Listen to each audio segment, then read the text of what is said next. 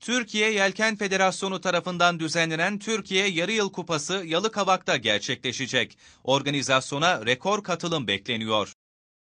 Türkiye Yelken Federasyonu, Yalıkavak Belediyesi ve Yalıkavak Yelken Kulübü tarafından düzenlenen Türkiye Yarı Yıl Kupası Optimist Lazer Yarışı 28 Ocak 1 Şubat tarihleri arasında Yalıkavak'ta gerçekleşecek.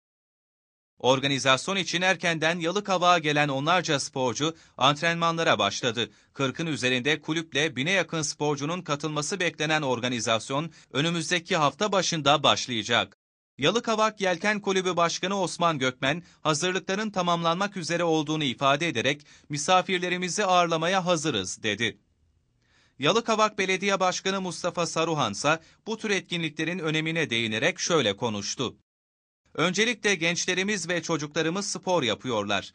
Denizlerimizin üzerini renklendiriyorlar. Öbür taraftan bu organizasyon beldemiz için de önemli. Yüzlerce vatandaşımız burada konaklayacak. Şimdiden bütün otellerimiz doldu. Bu organizasyona ev sahipliği yapmaktan dolayı mutluyuz. Tüm minik sporcularımıza başarılar diliyorum şeklinde konuştu. Organizasyon nedeniyle kış aylarında kapanan birçok otel açılarak tekrar hizmet vermeye başladı.